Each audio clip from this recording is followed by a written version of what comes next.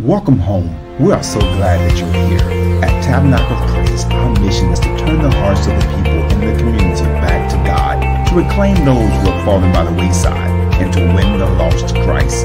Each service has been designed with you in mind. Stay tuned for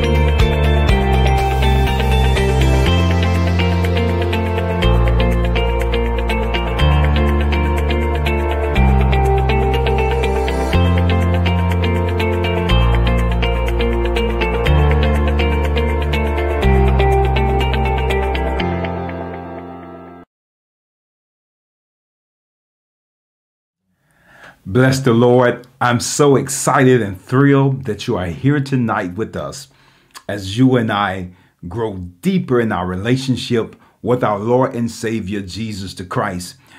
He has been doing wonderful things and awesome things in our lives. And I hope you have seen the hand of God on your life and God orchestrating and moving things around to fit the destiny that He has for your life. And even if you feel like you don't know what your purpose is and you don't know who you are, understand tonight that God has a plan for your life. He has destiny on your life um, that He has already mapped out how your life will be lived on this earth. But you have to make the decisions to follow the unctioning and the leading of the Holy Spirit. Let us pray tonight, and we'll dive into our text on tonight. Let us pray. Father, we thank you as we gather tonight as brothers and sisters in Christ, that you're forever present, that you are Jehovah Shammah, that you are always there, and that you're present help in the time of need. As we gather tonight, let our hearts be open to receive from you. Give us, God, a heart uh, that is clear. We lay aside every sin and weight where ease beset us. And tonight we look unto Jesus, the author and the finisher of our faith. Speak to our hearts, God. Touch my tongue now to anoint me afresh and anew. That the words that are uttered, God, will be impactful. In the name of Jesus, we do pray. Amen and amen. Tonight, I'm so excited to be here with you. Um, tonight, I want you to join me again. We're in Genesis chapter 39. We've been here for quite a couple of weeks. Um, we're in Genesis chapter 39. Tonight, our focus will be on verse, um, let's say 6b um, through verse 20 um, tonight as we dive into our text. Um, you'll find there these words.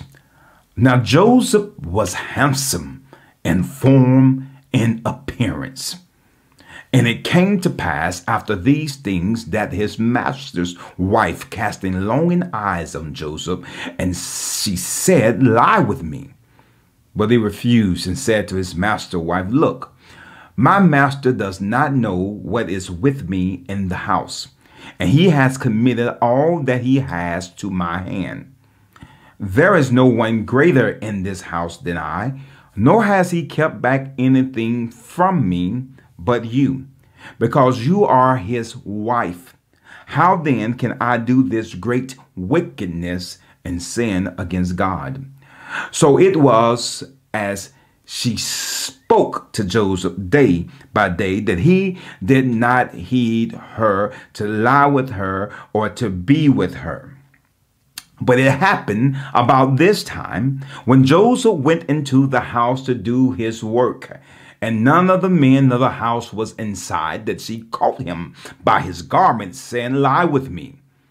But he left his garment in her hand and fled and ran outside. And so it was when she saw that he had left his garment in her hand and fled outside that she called to the men of her house and spoke to them, saying, See, he has brought in to us a Hebrew to mock us.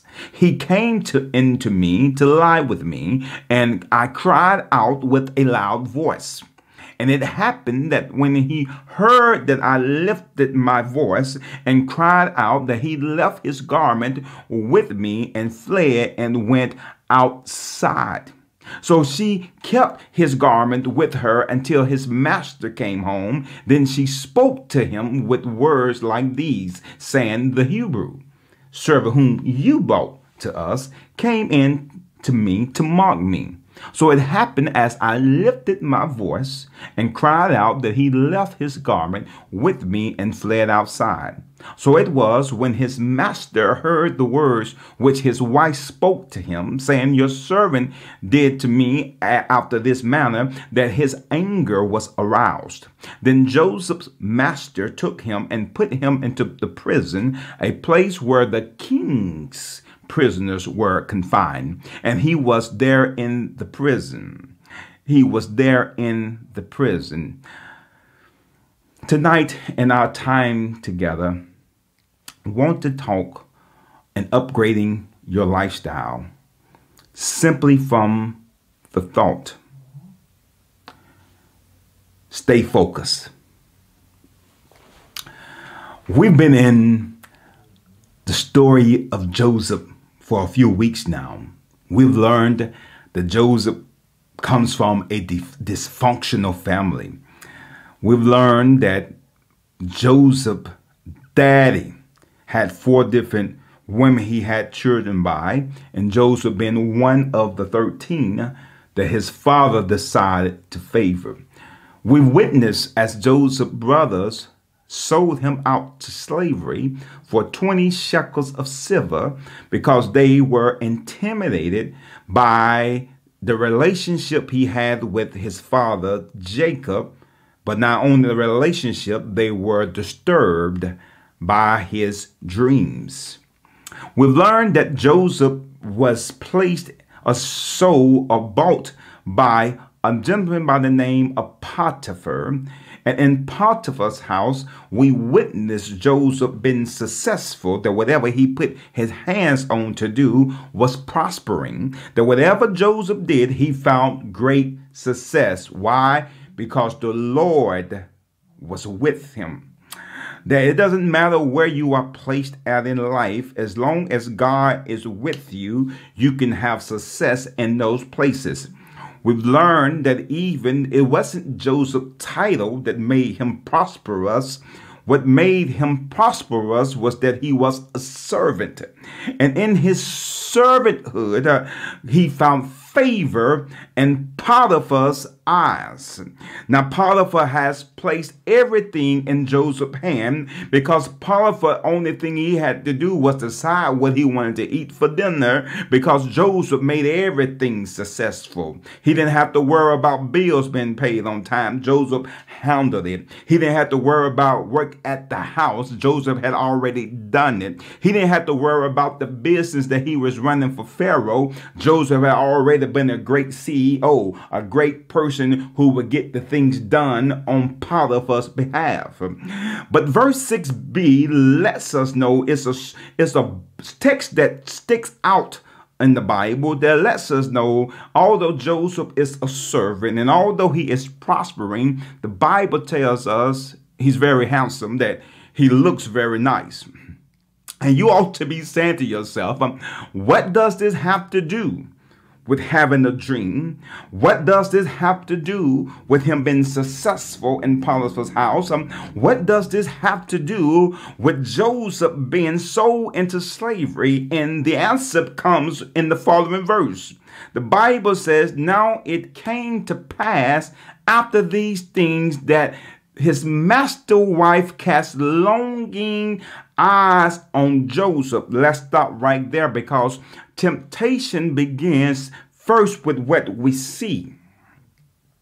That we are not tempted necessarily about what we hear because once we hear something, we start putting a picture in our head of what we just heard. So pictures and things tempt us or excite us. And so we learn very quickly that Joseph um, is now have um, Potiphar's wife casting longing eyes on him, but she looked at him first before she said anything. And I, I, know you wondering the same way that I'm wondering for her to be so forward with him, to look at him, then to say to him to lie with me. It speaks of the nature of how we look at sexuality in our society in this day and age, we have um, we are an over sexualized um, commu- uh, community, uh, over um, sexualized world in which we can't even watch films without sex scenes. That we have sex has people have sex without meaning. And so, what we see inside this text, um, Potiphar's wife is not looking for marriage. Are you breathing? Potiphar wife is not looking for a long-term relationship. Powerful wife is looking for the hookup. She's looking for friends with benefits. Potiphar wife is looking for someone who she can just meet up with at times. Um, this is not some type of long-term relationship she is looking at. Um, and the Bible says she is bold and say, I'm not asking you to marry me, Joseph. I'm just asking you to lie with me. Oh, let's talk tonight. Um, uh, um, it's important that we understand, as we mentioned last week, that to be an officer in Pharaoh's court, to be an officer in Pharaoh's palace, um, that oftentimes officers uh, were eunuchs. What is a eunuch? Someone who has been castrated and having been castrated, uh, this is no excuse, uh, but having been castrated, um, Pharaoh Potiphar's wife attention is elsewhere. Let me talk to you tonight. This does not give an excuse for her lewd behavior, but what the Bible is letting us in on and allowing us to see is that um, this woman is feeling something missing in her life. I want to talk to you tonight.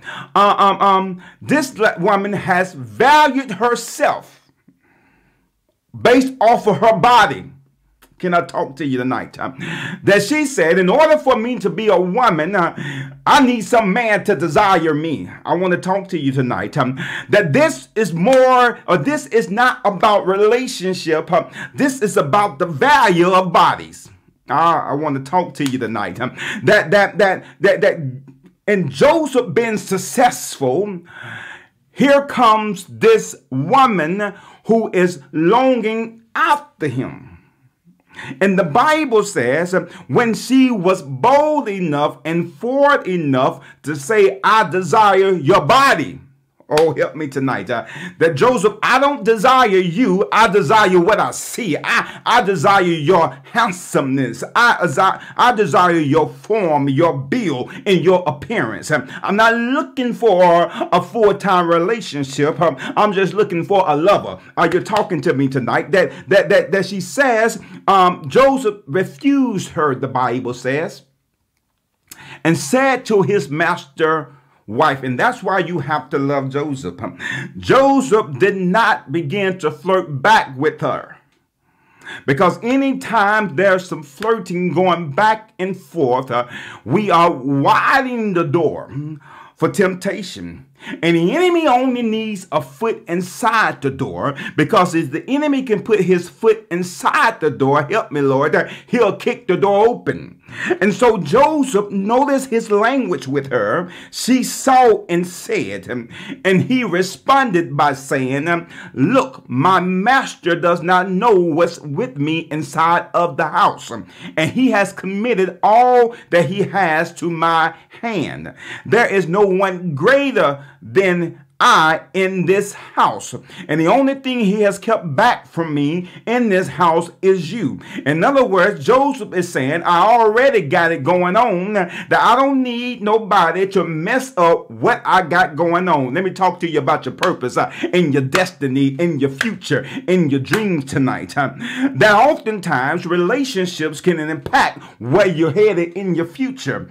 Relationships can impact uh, your destiny in your dream. Um, that if you hook up with the wrong person, they can set you back 5, 10, 18, 25 years uh, if you hook up with the wrong person. Uh, and in the meanwhile, Joseph is saying to her that I have been focusing on relationship. Help me, Lord. Uh, I've been focusing on working. Uh, I hope you're breathing tonight, young man, young woman. Uh, that it's time for you to focus this season in your life. You need to be focusing on what you're going to be doing with your life. Um, you ain't got time to worry about who loves your body, who likes your body, who think you cute, who think you saucy, who think you got it going on. But you need to be focusing on the task that God has placed in your hand. He said, the only thing he has held back from me is you. And the only reason he held you back is because you are his wife. I want you to know this right here. Joseph said, let's not skate around the issue. Um, you're committed to somebody. And since you are committed to somebody, I'm not going to violate, are you listening? The covenant that you have with somebody else. Joseph saying, before we even, before you go any step further, let me remind you that you are married, that you belong to somebody else. And I'm not going to violate um, what is already committed to somebody else. Are you breathing tonight? Then he asked the question to her. He turned her attention towards God. That's how you deal with temptation. That's how you stay focused while you are building and working out based off what God has placed into your hands. He said, How can I do this great wickedness and sin against God? Notice he didn't sugarcoat it. He didn't say we were having an affair. He didn't say we was um we was friends with benefits. And he said this great wickedness uh, to defile a covenant. He said, "How can I do this great wickedness?" And notice this: not sin against you, but to sin against God that Joseph understand the, the, the, how sexuality impacted his relationship with God. It's so sad that many of us um, are messed up in our spirituality is because we don't have a proper understanding of sexuality. We got to do more with that, not just here tonight, but we as a church have to speak more about what's proper sexuality, what God's blueprint is for marriage, what God's blueprint is for sex, what God's blueprint is for relationship. That that that the God, the Joseph says that my relationship with God is stronger. I hope you're listening tonight, young man, young woman. It's because I see God with innocent eyes. Are you breathing? That, that, that, that once I cross this line, then I won't see God or I won't experience God the same way when I cross the line of experiencing my sexuality outside the bounds of holy matrimony that I would I, I can't see God the same way. He said, How can I sin against God? Because if I do this great wickedness, then my relationship with God will not be the same, that I won't pray the same, that I won't witness the same, that I won't work the same because my conscience will be seared. I hope you're breathing tonight. Um, that, that, that, that I can't see God the same way when I have violated the bounds that he has put into place. Uh, and Joseph said, I can't sin against God. And the Bible says, so it was when Joseph remain focused on what he was assigned to do.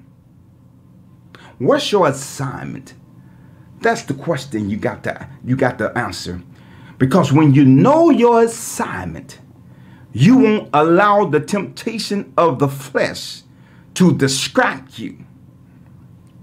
That it was a distraction that came to Joseph. And the Bible says and it came to pass after these things that the master wife cast longing eyes on Joseph. He refused her, and he said to her how he would be sinning against God. And after the rejection, it was difficult for her to receive because she acquainted the acceptance, the acceptance of her body on being accepted by a man. Ah, help me tonight. That that that if he denied my body, then I must not be worth anything. My husband Potiphar is a eunuch, and I don't have any intimacy with him. Now this man has rejected me, then I must not be valuable. So she pressed more upon him. That she began to throw herself at him because she is basing um, her femininity on being accepted by a man. Ah. I know this is kind of tough for us tonight around about here. That that that that she daily the Bible says that she, she kept coming at her, him Joseph being him, and he did not heed her voice. She kept saying, lie with me. She kept throwing herself on to him, trying to get him to be with her. And Joseph continued to stay focused. In this day and age, it's easy to get um, to lose your focus or become unfocused because there's so much coming at us in this 21st century that it is an over sexualized culture in which we live in uh, every day is always placed before you but joseph continued to remain focused. Um, listen i want to tell you tonight um, that whenever you feel temptation coming towards your way you need to be able to say to yourself uh, what is my assignment because i got to remain focused on that which god has placed in my hand. He was focused. Somebody say focus. He was focused. And the Bible says, verse 11, but it happened about this time. What time? Now, it was a time when Joseph was in the house uh, to do his work, where his assignment was. Um, she didn't attack him, uh, or he wasn't tempted when he was at ease, but the temptation came while he was working. I hope you hear me tonight. Uh, that that that that the enemy came in, and I'm not calling powerful wife an enemy, but the spirit um, um to come to try to stop him uh, enter in while he was working. Ah, help me. While he was working, and none of the other men was in the house, um, which means Joseph had the capacity to get things done when others were not working. Are you breathing tonight? He remained focused on his assignment. And I don't know what assignment that God has given you. I don't know what assignment that God has placed in your life, but the word to you tonight is to stay focused, to stay focused on what He placed into your life. The relationships will come, huh? the money will come, huh? everything will come if you remain focused on your assignment. Bible says that this day he came into the house when all the other men were not inside of the house. She didn't just see him and say, she started touching him. That now the temptation has gone from the eyes. It has moved from the conversation. Now the temptation has moved to the point now that she's touching on him. Oh, are you helping me, helping me tonight? Uh, that she caught him by his garment, saying, Lie with me. She is literally at the point of undressing him. But the Bible says he left his garment in her hand. Why? Because he was focused. That this is not the appropriate thing to do, and this is not my assignment. See, in our day and age, we believe just because we got away with it that means it's okay. But God sees everything, that God sees around the corner, that while we are playing house, help me, God, uh, that the Lord sees everything that we are doing. He left the garment in her hand and he ran for his future. You didn't hear what I just said. That you got to be so focused in your life um, that when temptation try to grab you, you got to say, I got a future I got to run for. That Joseph ran not just because uh, he was afraid, but he ran because he was running for his future because he knew what would happen. Uh, if he sinned against God and conducted that great wickedness. And so when it was, the Bible says, when she saw that he had left his garment and that he did not accept her for her advancement, nor did he approve of her body because she was showing everything that you can't go to social media now without somebody showing their backside, that every picture they take, they're showing the body. They're not elevating God. They're trying to get you to look at them. They're trying to entice you and to invite you into a space that will get you off focus. But I want to say to you tonight, young man, man, young woman, stay focused on your assignment. I, I don't care how pretty she is. I don't care how, how, how vivacious she is. I don't care how handsome he is. I, I don't care how well built he is. My brother, my sister, you got to stay focused uh, because God has greatness on your life. There's greatness inside of you. Verse 13, it says, So when she saw that he had left his garment in her hand and fled outside, that she called to the men of her house and spoke to them, saying this. Watch how the enemy operates. See, he has brought into us a Hebrew to mock us. Um, her testimony is given in a way what's going on here in the text. Uh, she is upset with Potiphar, so she blamed Potiphar for what for her being rejected. That Potiphar, you have rejected me, and now this outsider who's supposed to be working up under me, he has rejected me. That, that she is valuing herself based off how men treat her. Oh God, help me tonight. That she thinks her value is based on how men perceive her. Young lady, young woman, if you're listening to me tonight, uh, I want to say to you that you have value. Regardless of relationship that you ha- don't have, uh, you have value. Regardless if they think you're cute, you're fine, that you got it going on, I want to tell you tonight that God values you, that you are fearfully, that you are wonderfully made, that marvelous are you in God's eyesight, that you are valuable. And because you are valuable, uh, you don't have to sell yourself uh, to the highest bidder. I hope you're breathing. I hope you're not uncomfortable tonight because I want to say to you that your life matters, who you are, that you bring something to the table because you are valuable. And if they can't appreciate you for who you are and just want you for your body, it's a sign that they didn't see, they haven't seen how valuable you are. I feel God tonight. It is a sign that they don't understand that there's more to you than thighs, hips, and breasts, that there's more more to you than what they see on the outside, but there's something great inside of you that won't let you sleep at night. There's an assignment that's on your life. There's a dream that God has given to you that you can't forfeit the dream. You cannot cancel the assignment because God has greatness on you. Let me breathe tonight. Huh? And so she said this Hebrew that my husband brought in, he brought him in here to mock us, to laugh at us. Now, no one else had problem with Joseph.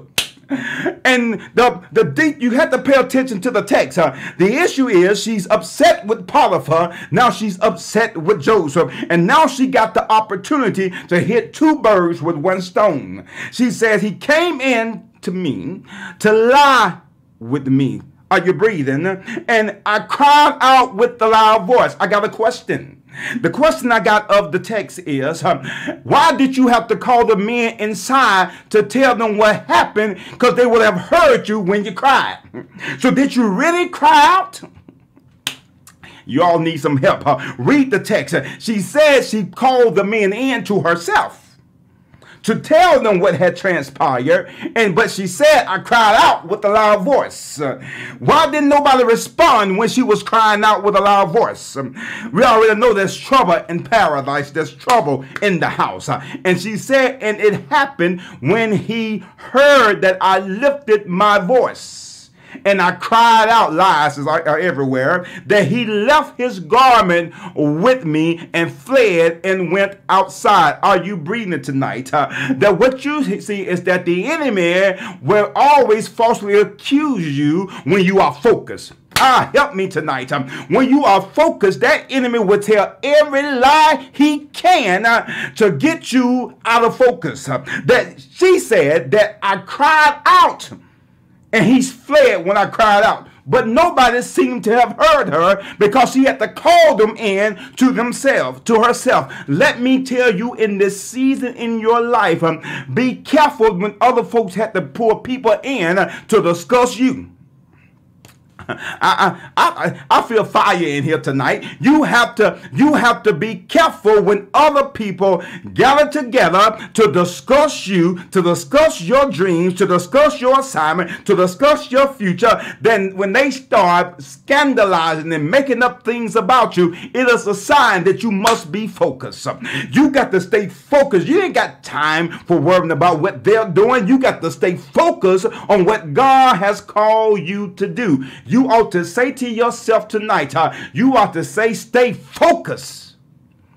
So she said, he came in here to mock us. So when Potiphar got home, and his master heard the words which his wife spoke to him, saying, Your servant, listen to her language, your servant, it's your fault your servant did to me after this manner that his anger was aroused.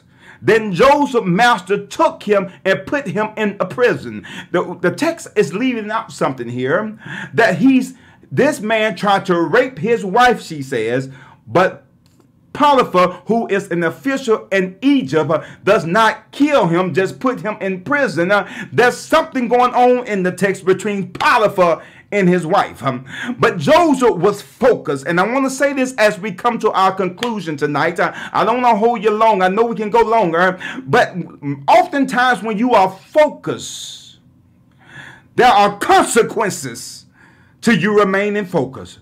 I didn't say because you was focused, everything was going to be at ease in Zion and that everybody was going to applaud you and everybody was going to accept you and that doors were going to be open for you. Sometimes when you are focused, they will put you behind closed doors.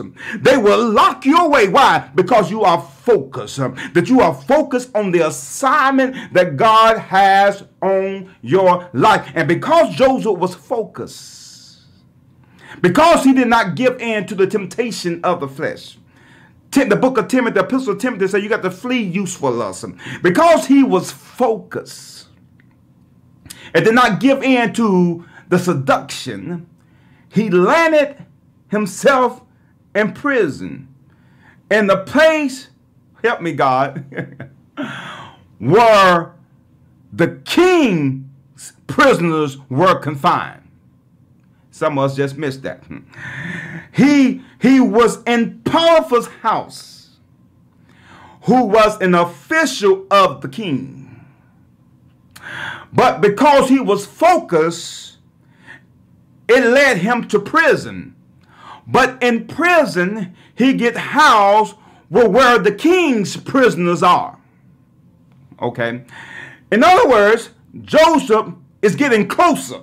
Ah, I felt that closer to the king. That that that that, that God has been orchestrating what they meant for evil all of this time. He's been orchestrating him to get them closer to the palace. That in order for me to fulfill the dream that I have on your life, you've been faithful over the assignments up to now that I've been giving you. But Joseph, just because you've been faithful over the assignments, uh, there's still more you got to go through in order for you to get to the dreams uh, that I have for you. Let me say this to you right quick. Listen, yes, the assignments may not match the dream right now, but the assignments are being used to get you to the dream. Are you breathing tonight? Uh, that God would use everything he's assigned for you to do into your life. And yes, you may think that man have given you an assignment. Nothing happens by, by accident. That the same assignment you have now, it may appear that it came out of the blue, but God was intentional when it came to the assignments that he placed in your life because he knew what the dream would cause for, that what skill set you would need to be able to walk inside of the walk inside of your dreams. So tonight, when we look at Joseph's life, let's remember that he was focused. And part of me look back at Potiphar's wife and say she was troubled because in this day in Egypt time, they looked at the women differently and she wanted to be accepted for her body accepted. She wasn't looking for a position. She was looking for someone to accept her body. My sister, tonight, you are more than your body. My brother, tonight, you are more than your body. But that's something so uniquely designed and specific for your life that God will have you to stay focused to see what the end of this was going to look like. If you don't know the Lord as your Savior tonight, won't you simply pray this prayer with me? Say, Lord Jesus, I believe that you died for my sins and that you got up from the grave with all power in your hand. I confess you tonight and ask you to come into my life and be my personal Savior. From this day forth, I live for the glory of God. In Jesus' name, amen. Now, if you have prayed that prayer for the first time or to rededicate yourself, please make sure you're in a church home that's teaching you how to walk inside the kingdom of God. If you want to make Tabernacle of Praise your church home, send us a message here Right now, we're currently doing hybrid services. We have a, um, a limited capacity for in-person services on Sunday, 8 o'clock and 11 o'clock. But also, we're still here online. We would love for you to make sure you're part of a body who's growing you into the full statue of who Christ is. For everyone else, we're going to ask you to return your tithe, to give your offerings, to sow your seed tonight. Never come before the Lord empty handed, but always to bring a gift unto the kings. For he give seed to the sower and bread to the eater. Give, and it shall be given unto you. Good measures, pressed down, shaken together, and running over. For with the same measure you give, God wants to give that back to you again 30, 60, even a hundredfold return. Amen. Thank you for your time tonight. Thank you for your generosity. It is my hope and my prayer as we leave this place, but never God's grace, that the Lord will bless you and keep you, that his face will shine upon you and be gracious unto you, that the Lord will lift his countenance upon you and give you peace. It's in Jesus' name we do pray. And remember that there is victory in your praise.